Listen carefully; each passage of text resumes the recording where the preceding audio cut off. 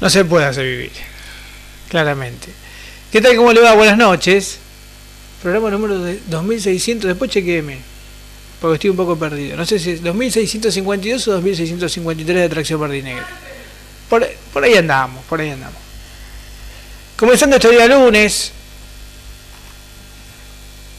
después de, de, ¿no? de lo que pasó el sábado, eh, y que vamos a empezar a, a charlar un poco. Vamos a tratar. Si usted tiene ganas, al 44620896 puede dejar su mensaje. Y dar su opinión y sentar posición sobre esta sobre este partido que a Chicago lo deja al borde del abismo, sobre este esta derrota que deja al equipo que increíblemente todavía tiene posibilidades a pesar de esta penosa campaña porque no se puede calificar de otra manera. Sinceramente este equipo en, en estas 24 fechas que han transcurrido, por momentos ha dado pena. Claramente yo creo que, digamos, no, no, no es momento porque, repito, todavía estamos, eh, todavía Chicago tiene posibilidades. Claro, el tema es que hay que ganar para poder aprovechar esas posibilidades. Nada más y nada menos que ganar un partido. Con todo lo que esto implica y todo lo que esto significa. Ganar un partido. Es difícil de digerir la situación. No es fácil.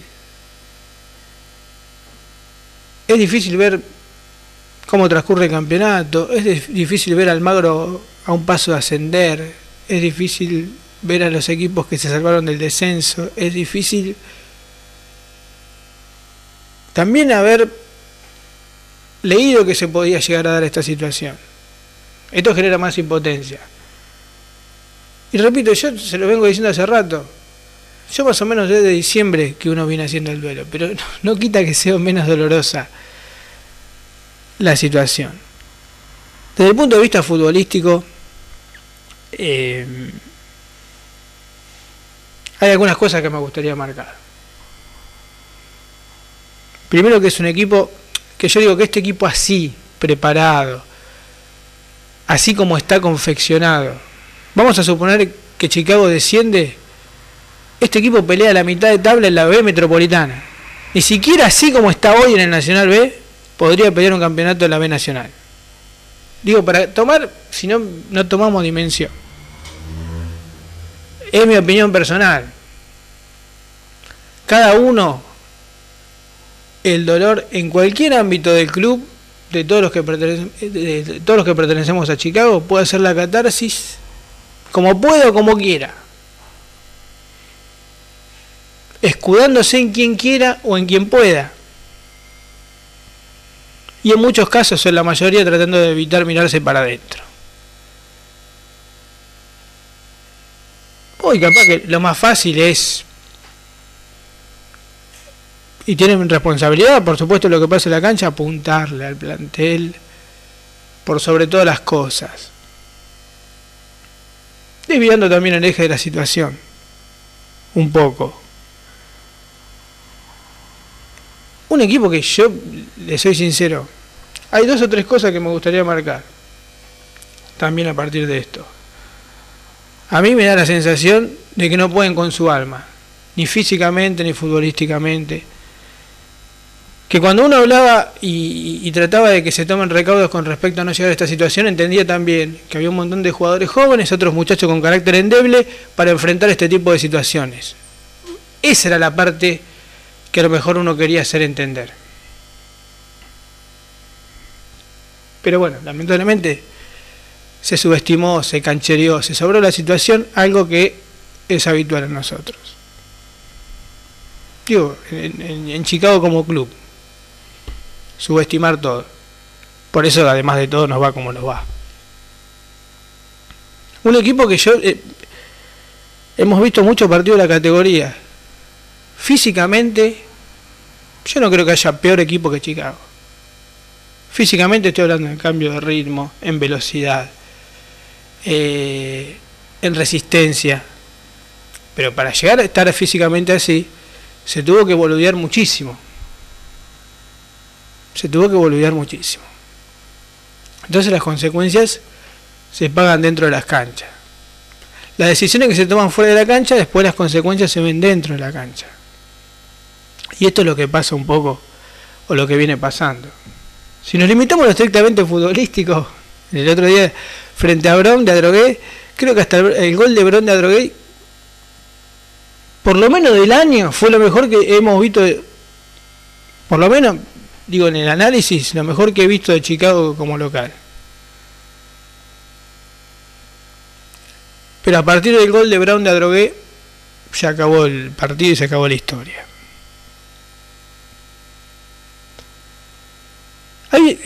a ver, yo si, si tuviera que, que hablar con los jugadores y darle una charla técnica, lo único que les mostraría es el video del primer gol de Brown de Adrogué. Nada más. No agregaría ninguna palabra más. Y voy y me limito a ese gol. Porque uno está observando cómo Perazo una y otra vez marcó. Creo que de las pocas veces que habló Perazo en el partido, en el momento que se saca el lateral casi de mitad de cancha, la verdad que inadmisible el que le hacen a Chicago. Un lateral de mitad de cancha a un número 9 que recibe y que mide más o menos un metro 95. Perazo en la jerga futbolera con los gestos decía no lo dejen recibir, no lo dejen recibir, anticipenlo. No solamente que recibió, pasó la primera marca, pasó la segunda, desbordó con un metro noventa y cinco, más o menos, más de un metro noventa tenía. No solamente desborda, mete la diagonal, manda el centro y en el área chica eh, se anota el primer gol de Brown de. Eh, de Potrero. De Potrero está que si pasa el primero que no lo tendría que haber pasado, el segundo lo tendría que mandar contra la tribuna o contra el alambrado. Pero ahí ya no hace falta eh, una indicación. Me parece que es algo que tenemos que entender. Digo, ¿quiénes hemos jugado al fútbol? No profesionalmente. Y más en una instancia tan decisiva. Pero este es un equipo que seguramente a lo mejor si le toca irse se va a ir con el fair play sin pegar una patada. Esto marca también un poco, ¿no? Eh, cuál es y por qué de la situación. Pero la verdad que sería de parte nuestra injusto por lo menos, no sé si, si es la palabra indicada, escudarse. En un partido de fútbol escudarse simplemente los jugadores. Hoy es el, el, blanco más fácil para desviar la atención de las verdaderas responsabilidades.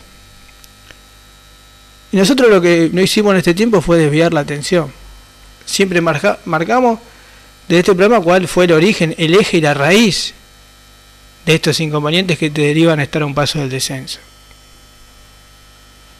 Desde la confección. Y yo te digo, cuando hagamos un análisis y esto termine, pero tenemos que irnos al campeonato de primera división. ¿Cómo se puede llegar a esto? Y cómo Chicago va perdiendo la grandeza.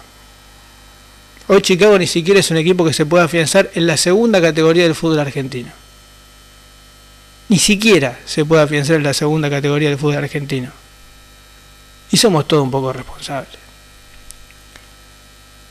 Yo hay, muchachos, yo la verdad que una vez en, estos momentos ve, también observa las miserias, ¿no? Porque estos momentos sacan lo peor de cada uno. Sacan lo peor de cada uno. Porque repito, cada uno hace catarsis como puede. Y en, algunas observaciones, o, o uno observando alrededor, se sorprende también cómo hay algunos que se prenden en esa desviación del eje y le piden los huevos a los jugadores que ellos no tienen, que ellos mismos no tienen, y le piden huevo a los jugadores.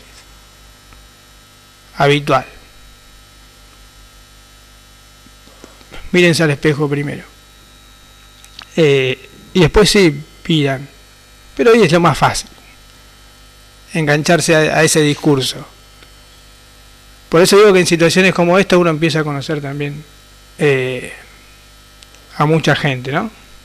Empieza a ver cómo, mismo uno, que más allá de la experiencia y haber vivido situaciones parecidas, nunca son iguales, sí parecidas, eh, digo, esto por más experiencia que tenga, es difícil de sobrellevar, te afecta en, la vida de cada uno, por eso cada uno hace catarsis, lo ideal cuando uno hace catarsis o trata de, o deposita sus propias frustraciones más allá del amor que tiene con el club, es que esa catarsis no sea dañar a diestra, a diestra y siniestra, a lo que se cruce, tratar de, focalizar, ¿no?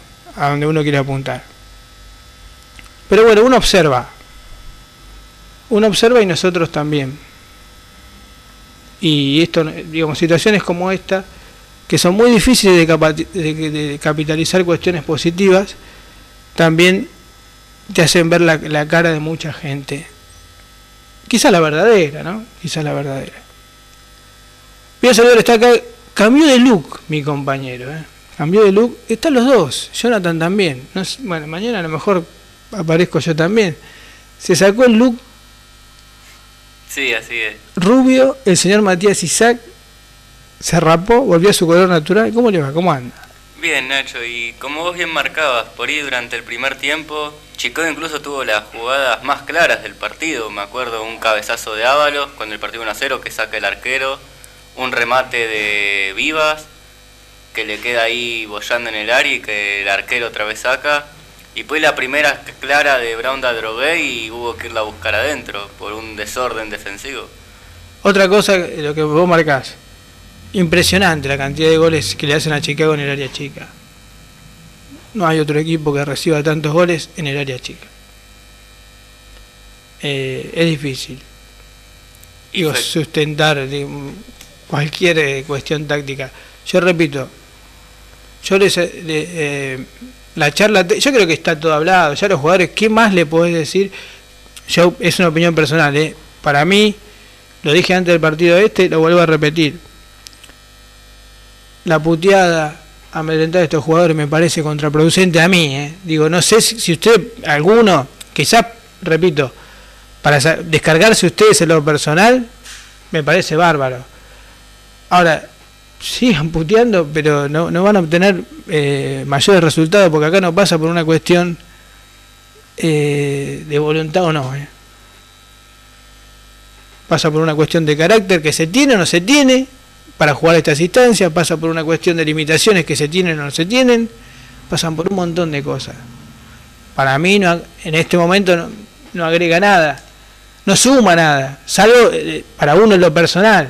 Después, bueno, yo respeto, a lo mejor no respeto, no comparto determinadas situaciones porque creo que son contraproducentes, pero bueno, evidentemente hay muchos que, que apuntan o, hay muchas cabezas que apuntan y que hacen apuntar a gente que es, digamos, funcional a esa desviación del eje, ¿no? Me parece. Pero como decías vos, eh, Chicago creo que jugó de lo mejor, jugó con intensidad, una intensidad que no puede mantener este equipo de ninguna manera y mucho más ante la adversidad. Eh, para mí el segundo tiempo estuvo de más, me parece que ya se sabía que estaba todo definido la pelota empezó a quemar, eh, se hace muy difícil. No es joda jugar descensos, no es joda. Y más cuando tenés muchos jugadores que no están acostumbrados a jugar estas instancias. Yo he visto, repito, futbolistas de trayectoria, de jerarquía, jugar eh, con la presión de obtener un campeonato y no es lo mismo jugar con la presión de no irte al descenso. No pensás no, se responde. Salvo la lucidez de Valdés Chamorro hasta que lo tomaron. Creo que los primeros 15-20 minutos de Valdés Chamorro fueron notables. Después, lógicamente, Facundo Lemo. Y ahí, ahí yo donde marco la diferencia. Vos fíjate que Perazo marcaba, cuando nace el lateral, O sea que se sabía que, no, no tenía que recibir el número 9. Los jugadores lo sabían. El técnico se los recuerda en el lateral. Sin embargo, no hubo caso. Ahora fíjate lo, de Valdés Chamorro. Valdés Chamorro durante 15 minutos manejó los hilos de Chicago. Yo no vi ninguna indicación de Vico que diga, muchachos, vayan a tomar al 5. Vayan a tomar a Valdés Chamorro. Ellos mismos, Facundo Lemo, los volantes de Brown de Adrogué se fueron acomodando y se dieron cuenta, muchachos, nos están jugando a las espaldas del 5. Eh, Valdés Chamorro se mete en la zona de enganche, está haciendo lo que se le canta. Entonces a partir de ahí ellos mismos, en dos palabras, movieron las piezas, se acomodaron y a partir de ahí anularon a Valdés Chamorro y se anuló gran parte del circuito de fútbol eh, de Chicago. Esto está claro. Eh, después otra jugada clave fue también, viste, uno cuando anda de esta manera, la pelota eh, que saca Martín Ríos no tiene nombre. No tiene nombre un gol hecho, que hubiera seguramente, si te ibas al primer tiempo con, un empate, las cosas se hubieran visto de manera diferente, de manera distinta. Y como vos bien marcabas, se notó que el segundo tiempo ya era distinto, uno abajo, el clima no era el bueno afuera y ya el segundo fue el golpe knockout.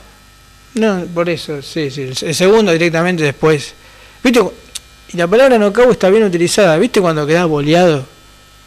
Y yo creo que quedaron boleados más de lo que estaban los, muchachos dentro de la cancha y, la gente afuera ya dejó de ver el partido. ¿Viste cuando mirás sin mirar o jugás sin jugar o vas por inercia? Y yo sabía que los jugadores de Chicago iban por inercia, pero no sabían ni dónde estaban parados.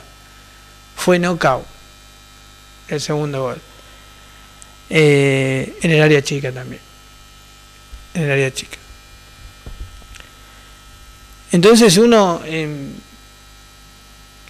repito, le, cuesta digerir estas situaciones, eh, es difícil. Yo sugeriría acá, de, este programa lo que no hacemos es aconsejar.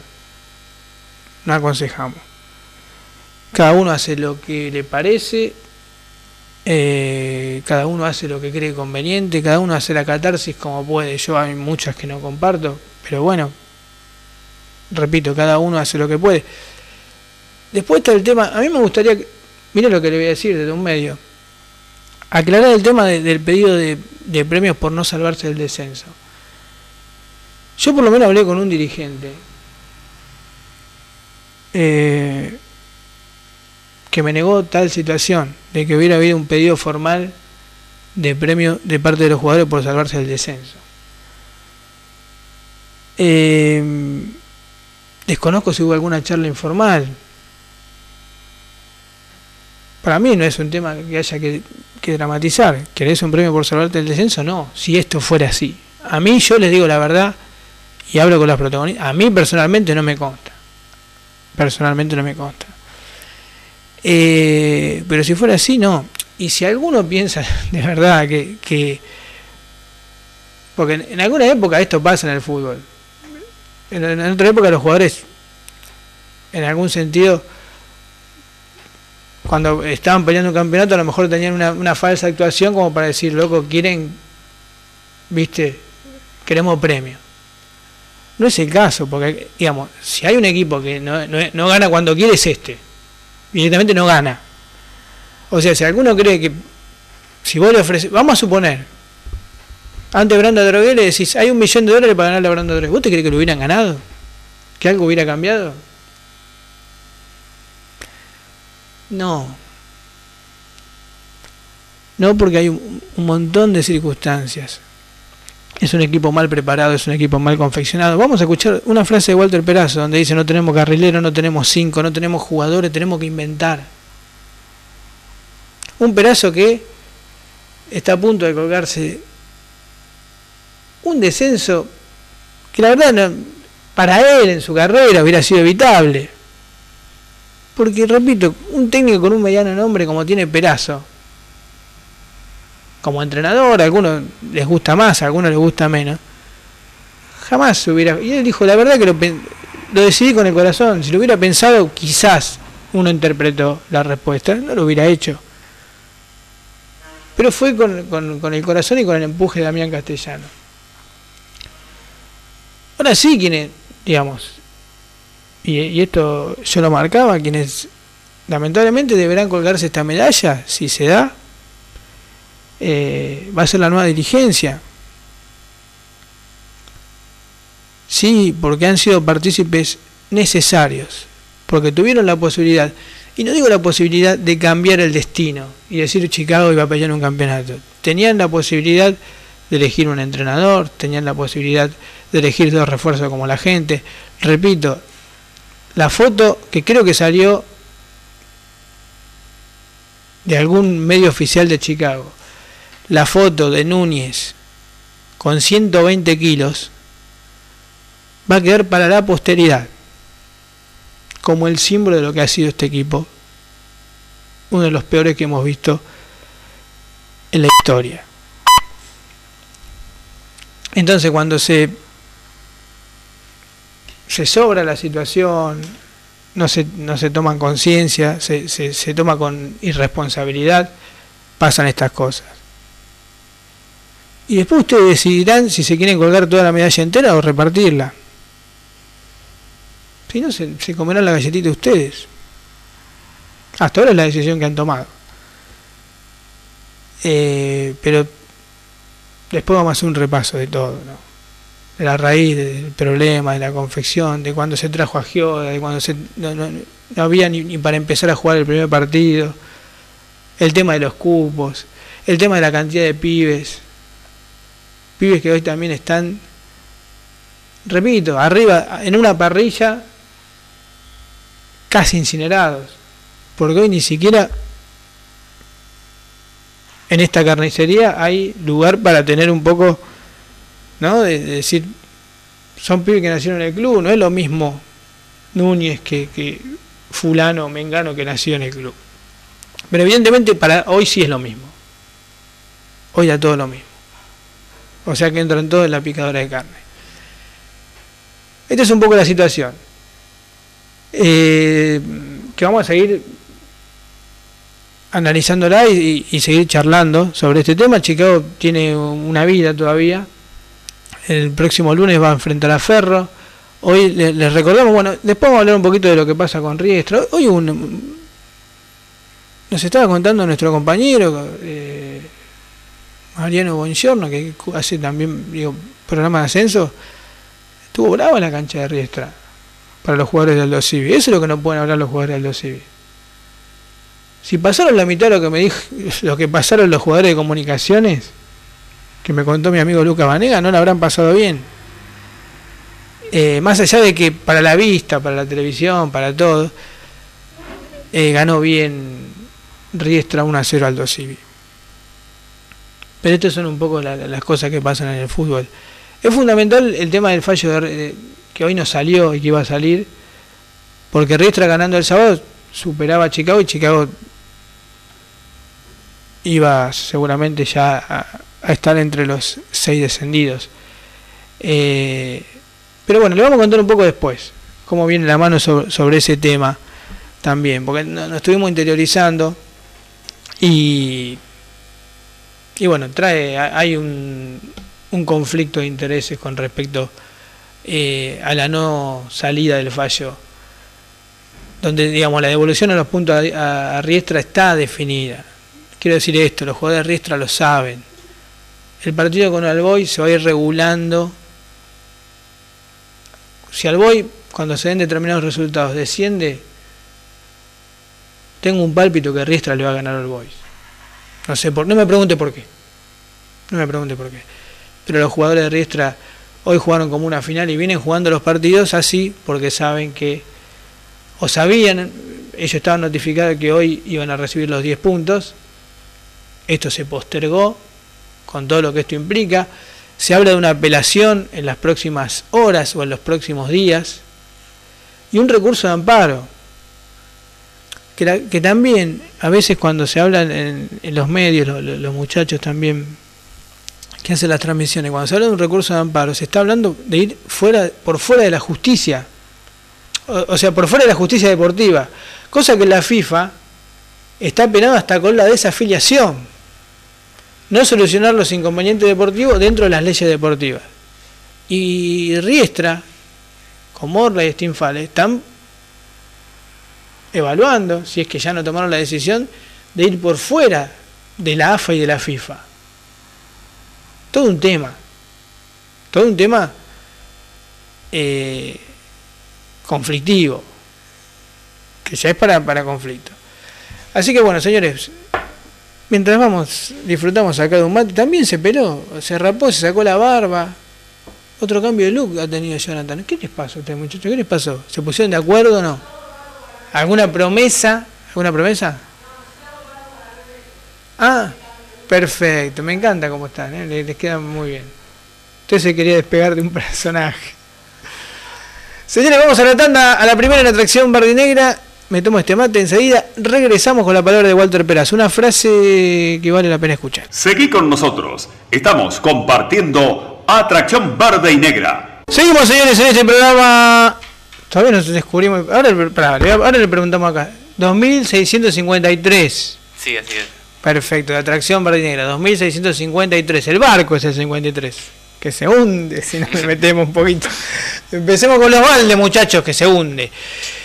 Eh, vamos a escuchar ahora la palabra de Walter Perazo, antes saludando a la gente de Max Diseño y Comunicación. Eh, gráfica integral, conectate, o mejor nos conectamos todos en www.maxpublicidad.com .com.ar y ahí para tus eventos y para tus empresas vas a tener las respuestas para las inquietudes que tengas ¿eh?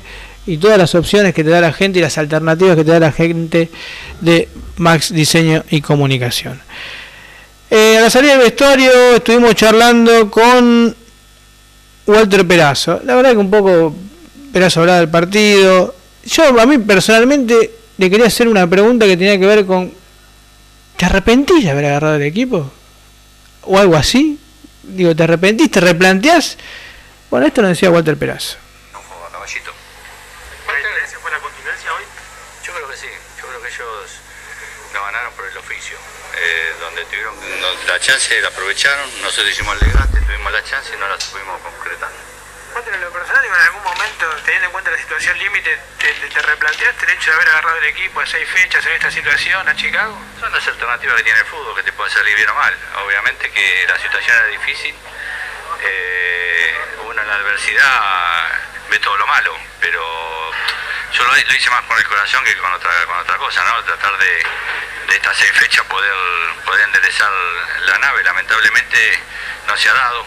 Eh, hemos tenido también mala suerte de cuando habíamos encontrado el equipo se nos lesionaron tres jugadores en un plantel corto porque la realidad es que hay puestos que no tenés, no tenés volante por afuera, eh, no tenés un 5 tapón, eh, o sea, hay puestos que por ahí jugadores de, oficio no tenés, por ahí que inventar o sacrificar jugadores jugando por las bandas como Vázquez y, y que no es el puesto natural de ellos, pero dentro de lo que hay tratamos de cubrir todos los, puestos y tratar de sacar adelante esto y no, no buscar excusas y vamos con fe al último partido. ¿Hablaste algo con los dirigentes? Eh, ¿Mostraron apoyo? Es un poco la palabra de, de Walter Perazo. Que en algún momento se, le preguntaba sobre el respaldo, digo, a esta altura. Está bien y, no era fácil tampoco ni, preguntar ni la respuesta. Ahora, a partir de lo que dijo Perazo, por eso siempre digo, no es lo mismo escuchar que oír hay una diferencia bastante notoria. Quien quiere oír, que oiga. Eh, Pedazo dijo, y la verdad que se hace lo que se puede. Yo no, lo analicé, no, lo razoné el tema de agarrar a Chicago. La verdad lo, hice con el corazón. Fue un impulso. Y seguramente habrá una promesa, el fallecimiento de su padre, algo de eso nos contó Damián. Hay una, una cuestión interna por la cual Esperazo verdaderamente ha tomado Chicago. Yo creo que termine el campeonato, aunque se salve, sale corriendo. Opinión personal. Y la verdad no lo culpo. La verdad no lo culpo. Eh, entonces, si nosotros escuchamos en pocas palabras, digo, a la hora de, la puteada desmedida y todo, que el tipo te dice, se nos caen tres jugadores. ¿Qué quiere decir? En el momento que estábamos bien, metimos un poquito de intensidad, como el equipo no está preparado, se nos caen tres jugadores. Nosotros lo marcamos en su momento. Lo de Valdechamorro, lo de Palmieri, te gusta más, te gusta menos. Pero son jugadores que estaba utilizando y que no pude utilizar más. Lo de Mater, fundamental. Uno de los pocos jugadores con despliegue que hay en este equipo y que, y que a ver, ¿cómo lo puedo llamar? Ese ensayo, es, no sé cómo decirle. Eh, hacer Rizuela, técnico me parece que es demasiado. No lo utilizaba. Y hoy no tener un, jugador con la dinámica que tiene Facundo Mater y el equipo es uno de los futbolistas que más sintió. Que más sintió. Un equipo sin volante central. Se prefirió traer, vaya a saber por qué, por buena onda, por amiguismo, por algún favor que se debía a, este tipo que ya mencionamos, que es difícil de presentar como futbolista, imposible de presentar como futbolista profesional. Entonces te dice, no tenemos carrileros, tenemos que ensayar. Después puteamos, ¿no? Digo, hay, jugadores que se desdoblan para, digamos, cubrir funciones que no son las de ellos. Yo no estoy acá, ni soy pro, repito, que quede claro y lo que se intenta es buscar un equilibrio. El gol, el primer gol de Chicago, es imperdonable, por más malo que sea. Puede ser un burro, lo que, o sea, no puede jugar en Nacional B, no puede ser titular, lo que sea, Ahora, tres tipos sin pegar una patada no te puede pasar. Entonces eso, digo, lo dejo aparte. Ahora, si vamos a lo global, a lo, colectivo, al, laburo que tiene este equipo, estamos hablando del peor equipo del torneo. Y lo vuelvo a decir, y lo dije el otro día en las redes sociales, por todo lo que le venimos contando, por la inoperancia, por sobrar la situación, eh, por la subestimación, eh, por la irresponsabilidad, por todo esto y por lo que vemos dentro de la cancha, Chicago merece irse al descenso. Dolorosamente hay que decir esto, Chicago merece irse al descenso. Y no, es fácil. No es fácil, pero cuando uno eh, quiere o, ama al club, y la verdad es que en esto nos sentimos acompañados, conozco porque de hecho hablamos gente que son las 2, 3 de la mañana, 4, no, no, se, no, duermen. Y pase lo que pase y cuál sea el desenlace, después tenemos que mirar en qué grado de compromiso eh, asumimos. Yo, a mí no me alcanza, eh, daría cumplida, me siento en la silla a putear jugador y con eso ya creo que estoy, ya la ve mi conciencia. Le estamos errando en eso. Pero lo que quiero decir es, eh, cuando un técnico te dice no tenemos jugadores de oficio para cerrar un partido. Digo, ¿se, entiende? ¿Se entiende cuáles es eh, las razones colectivas y futbolísticas por las cuales Chicago está pasando por esta situación? Creo que Perazo en pocas palabras las definió. Yo creo que el tipo, por eso me acuerdo de aquel partido con Juventud eh, unida de Gualeguaychú cuando todos decían, eh, cerró el partido, metió un cambio sobre la hora para hacer tiempo. Para que no pase esto.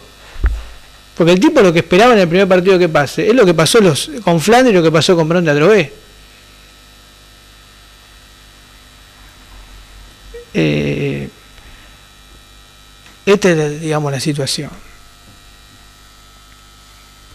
Nosotros, eh, te digo la verdad, si alguno de ustedes esperaba el programa con eh, en la mala mucho más y, que no nos importa el descenso ni la categoría y todo ese tipo de cosas, seguramente entre los 143.000 programas de Chicago debe tener otra opción que le pueda eh, llenar esas ganas que, que tiene de escuchar ese tipo de frases.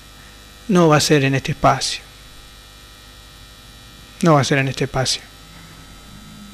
Em, bueno, ahí estábamos escuchando la palabra de Perazo, ya nos vamos a ir enseguida rápidamente a la segunda tanda. Seguimos, señores, con este programa número 2653 de Atracción Verde y Negra, acá, mientras trabajando, tomando un par de mates con el señor Matías y con Jonathan, muy buenos, muy bien musicalizado el programa hoy. Eh, señor Jonathan, eh, estuvimos charlando un rato y excelentemente musicalizado eh, para tratar, digo, los temas no se explican, se escuchan y, los contenidos también. Saludos al amigo Matías. No me haga, yo le voy a decir una cosa, esto es lo que yo le dije del lateral, es lo mismo que corre acá. No hace falta que yo le marque nada, usted ya sabe. Adelante.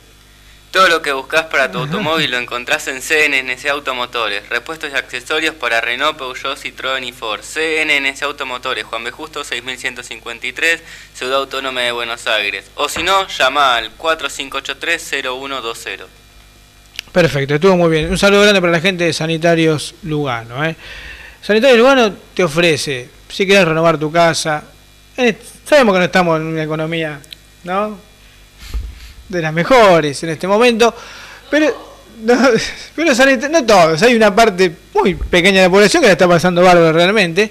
No es el caso de la gran mayoría de la población. Por eso Sanitario Lugano te ofrece planes de pago, precios, calidad, diseños. ¿En qué dirección, Matías? Murguiondo 4493, o si no, llama al 4601-4030. Un saludo grande para la gente de Sanitarios Lugano. Dedicamos el programa a Martín Figueroa, que nos está escuchando, un amigo que nos está escuchando desde Tandil, está escuchando el programa para él, para su familia, un abrazo grande.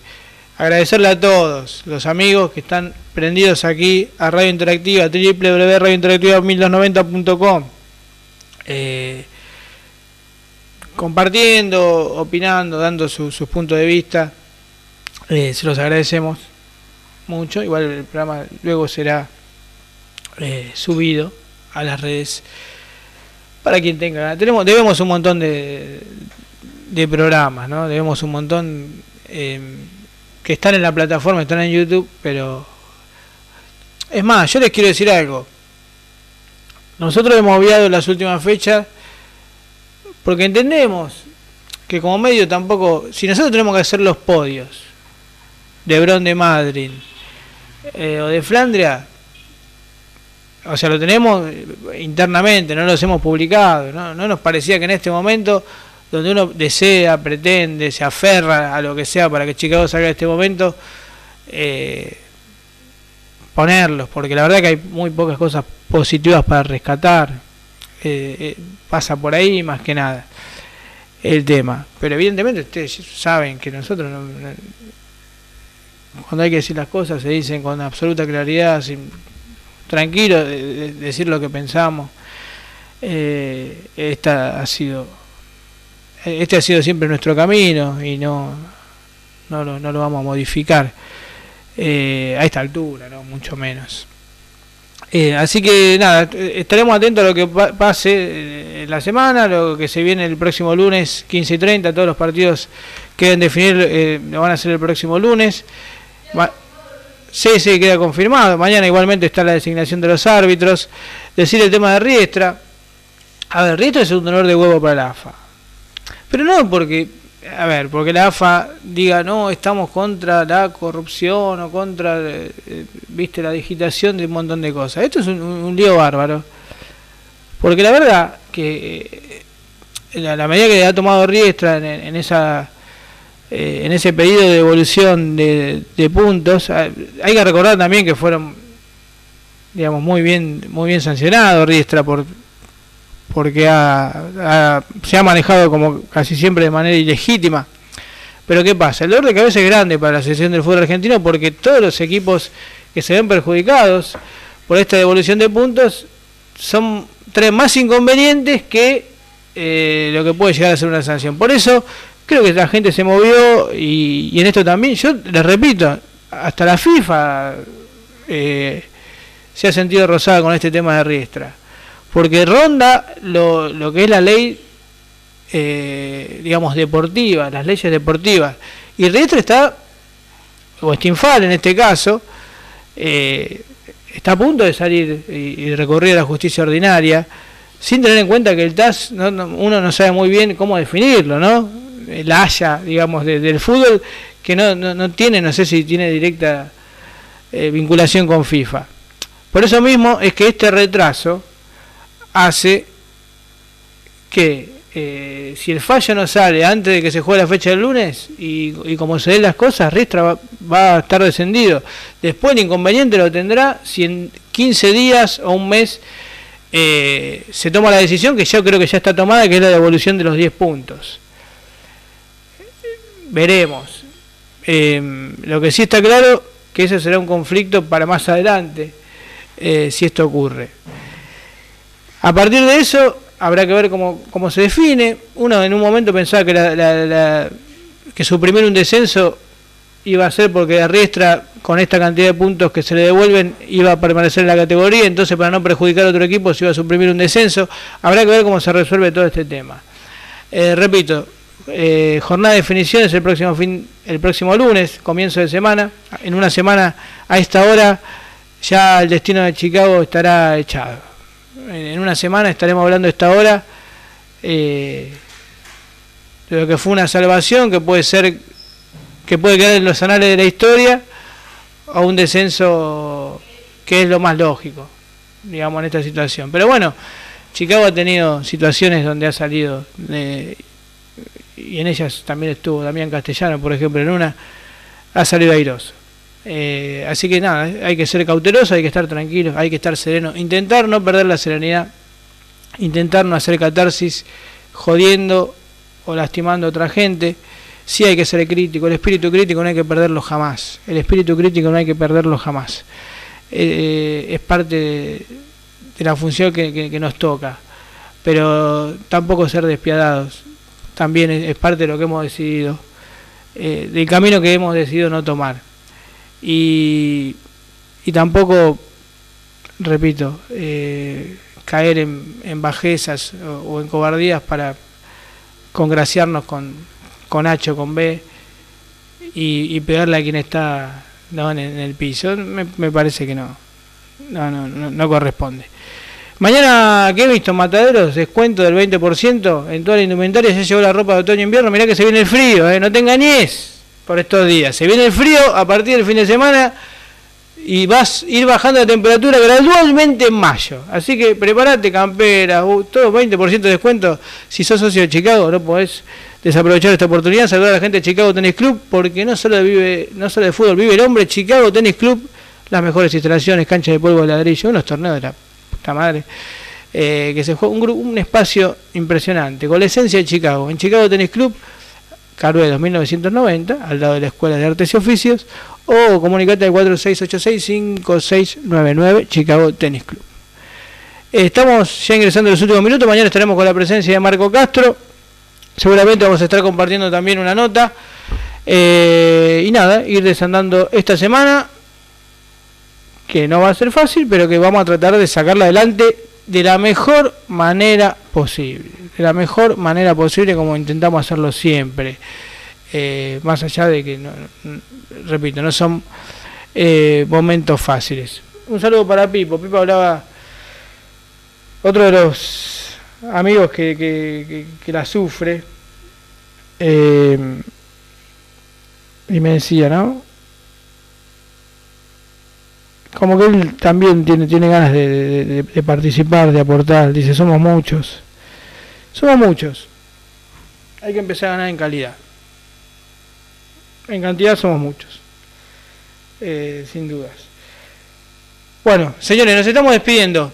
Eh, bueno, Isaac, me, me, encanta el look. Eh, creo que es más acorde. Es más acorde con la circunstancia, es más acorde, va a pasar más desapercibido. Lo hace Usted sabe que nosotros por las apariencias no nos llevamos, pero nos trae un recuerdo. No, lo veíamos usted y, era inevitable la comparación. Así que ahora está, está muy bien. Mejor rectificarse. Ah, no me dio el repaso de la fecha, ¿no? Sí, lo dejamos para mañana. Bueno, mañana ya me trae la fecha con árbitros. Vamos a ir desglosando. Y por ahí alguna que otra ya. Quiero decirle otra cosa. Me acordé de usted en el partido. Yo también me acordé de mí. En el área chica. Sí. Las dos, y fueron contrarrestadas, digo, cuando el partido, mientras el partido fue partido, esas dos bochas al área chica, digamos, pelota parada de Bronde Drogué, bien neutralizadas eh, por la defensa de Chicago. O sea que está, está, muy bien, ¿eh? sigue, sigue por el buen camino. Hace que reafirme mi confianza en usted. Bueno, por ahí mañana ya te traigo. No, no traiga nada, casi, casi se la boca. Gracias, Jonathan. Excelente trabajo hoy también para lo que tiene que ver con la realización del contenido de este programa. Eh, nuestro. El tipo que nos pone en escena. eh, no, es más que un operador. Eh, Jonathan, Marco Castro mañana va a estar eh, presente. No sé si la reserva juega mañana el miércoles. Vamos a estar también con la cobertura. Nosotros seguimos eh, con esto. Eh, adelante, así que nada, nos reencontramos mañana y a todos los que están del otro lado, pero de verdad, eh, sinceramente, muy amable y muchas gracias.